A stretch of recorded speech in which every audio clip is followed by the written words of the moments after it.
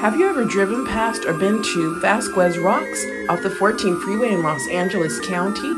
It's a really cool formation of rocks made by tectonic plates shifting. The location's been used in many movies in Hollywood, so you've probably seen it before.